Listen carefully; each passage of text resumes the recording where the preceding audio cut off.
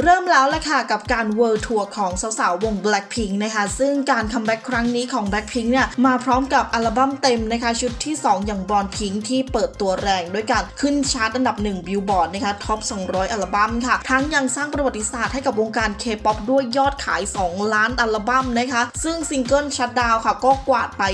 100 ล้านสตรีมมิ่งใน Spotify นะคะรวมไปถึงการครองชาร์ตนะคะบนบิลบอร์ดถึง 3 สัปดาห์ซ้อนด้วยกันไม่เพียงแต่อัลบั้มนะคะที่ประสบความสำเร็จค่ะ แต่ว่าคอนเสิร์ตทั้ง 2 รอบที่โซลนะคะก็มีกระแสตอบรับอย่างล้นหลามเลยทีเดียว ถือได้ว่าเป็นการเริ่มต้น World Tour ของแบ็คพิงอย่างเป็นทางการนะคะ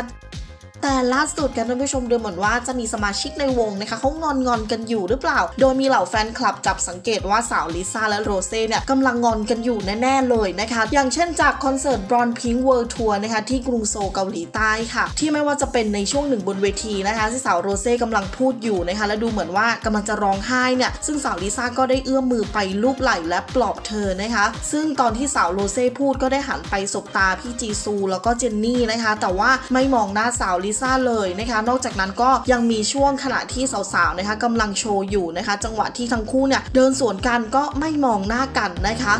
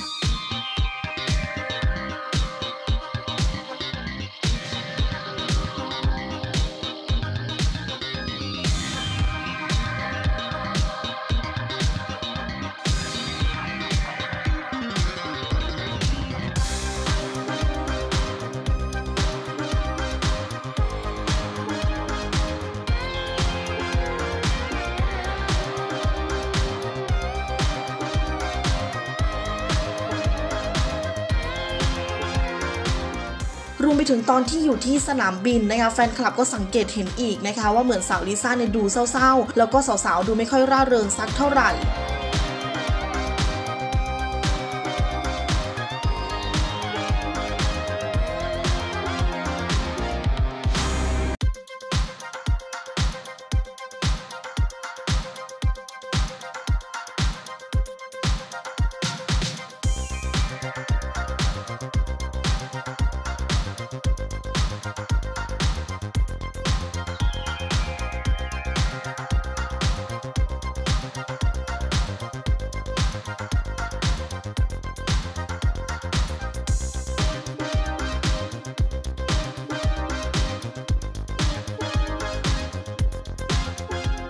และยังมีอีกนะคะในขณะที่แสดงคอนเสิร์ตเนี่ยแฟนคลับก็สังเกตเห็นอีกค่ะว่าทั้งคู่ไม่ยอมจับมือกันนะคะงานนี้ทำเอาเหล่าแฟนคลับเป็นห่วงกันยกใหญ่เพราะทั้งคู่เนี่ยดูเหมือนจะงอนกันนานเกินไปแล้วนะคะ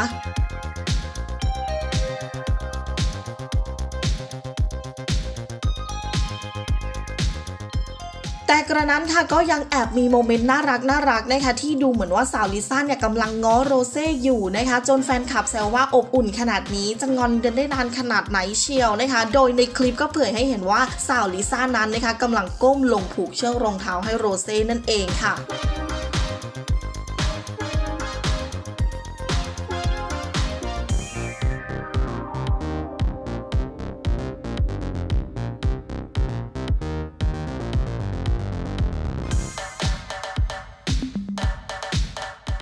แต่ล่าสุดค่ะท่านผู้ชมทั้งคู่นะคะก็เผยโมเมนต์ยิ้มหวานให้กันแล้วเลยค่ะแฟนคลับก็หายห่วงได้เลยนะคะเพราะว่าทั้งคู่เนี่ยไม่มีอาการตึงๆกันแล้วเลยค่ะ อย่างคอนเสิร์ต Born Pink ที่ฮูสตันในรอบ soundcheck นะคะ วันนี้ค่ะทั้งคู่ก็มี moment น่ารักน่ารักออกมาให้แฟนคลับได้ใจชื้นกันแล้วค่ะ